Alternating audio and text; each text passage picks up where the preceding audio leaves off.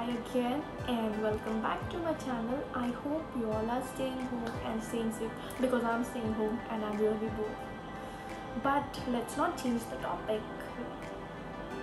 So today's video is all about recreating the look of bulbul from the movie bulbul itself. I really don't know how it is going to turn out but why not? Let's give it a try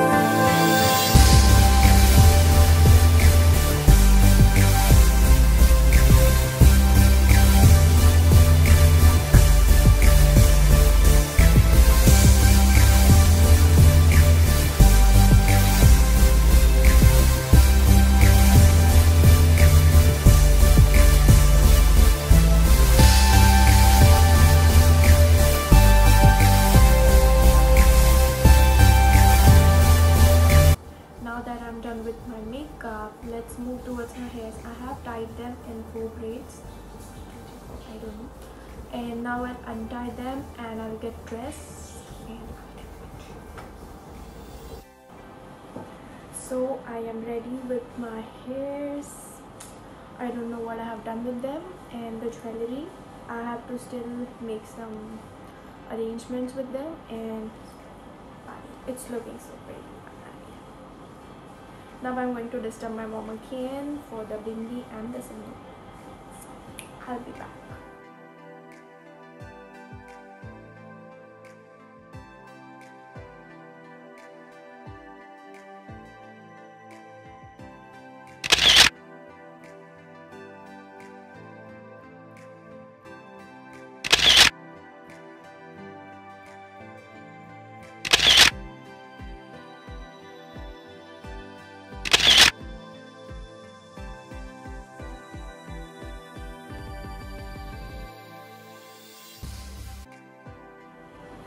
so i'm done with this look. I hope you all have liked this look.